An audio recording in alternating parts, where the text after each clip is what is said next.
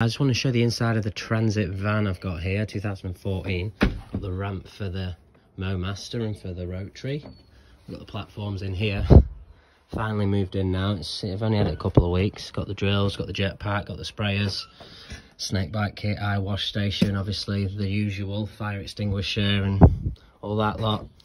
Got all the rakes out the way here. Got a few bits of retic stuff, kneeling mats, chains, drills, grinder, retic tools, pipes, another fire blanket there, gloves, more gloves, fresh gloves way along there. Super handy having this up there.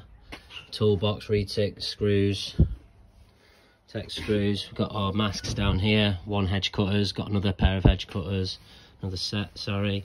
Retic stuff, sekis, tools, bits, tapes, blowers, fuel, ferts, more retic stuff. This left hand side is just the bomb these days. Chainsaw, used chains. just locks in there. Got my jibby there.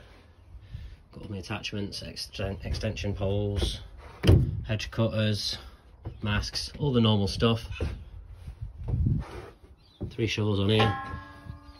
Got a spade, normal shovel, concrete and shovel, and also the other shovel.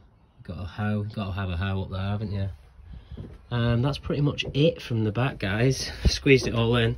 No mass is only 130 kilos. Ramp just slides down here. That comes in and out. Front in the van. Got extra storage under here. Three steps spare. Coats as well as boots.